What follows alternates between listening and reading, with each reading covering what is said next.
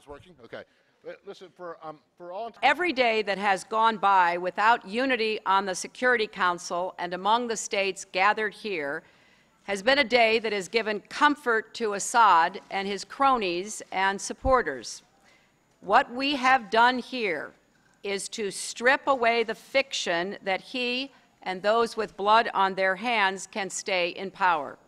veto power, which seems to be a recipe for continued we and our partners made absolutely clear to Russia and China that it is now incumbent upon them to show Assad the writing on the wall.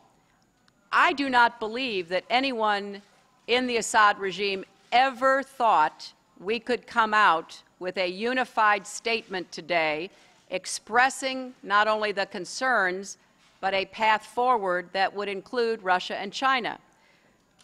And he needs to hear loudly and clearly that his days are numbered. leaves the open and uh, leaves open the, the- leaves the question open entirely. Thank you.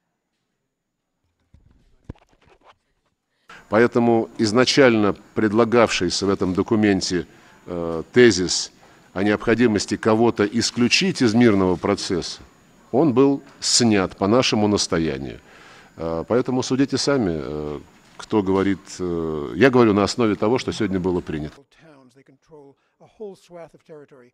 Противовоздушное вооружение, которое мы поставляем Сирии, э, по определению не может использоваться против оппозиции, тем более против мирных демонстрантов. Оно может использоваться только на случай отражения агрессии с воздуха.